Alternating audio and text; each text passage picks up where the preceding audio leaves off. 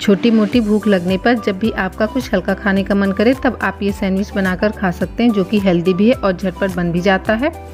Sandwich बनाने के लिए उबले मैश आलू में मिक्स करेंगे नमक, चिली फ्लेक्स और चाट मसाला। ब्रेड के स्लाइस पर एक साइड लगाएँगे टमाटो सॉस। इसके ऊपर डालेंगे ग्रेटेड चीज़। आप पनीर को भी ग्रेट करके डाल सकते हैं। इसके ऊपर लगाएँगे कटी शिमला मिर्च। स्प्रिंकल करेंगे थोड़ा सा नमक, काली मिर्च का पाउडर। इसके ऊपर रखेंगे राउंड शेप के कटे टमाटर। टमाटर के ऊपर सेट कर देंगे उबले मैश आलू जिसे अभी तैयार किया था। सब तरफ़ अच्छे से लगाएँगे।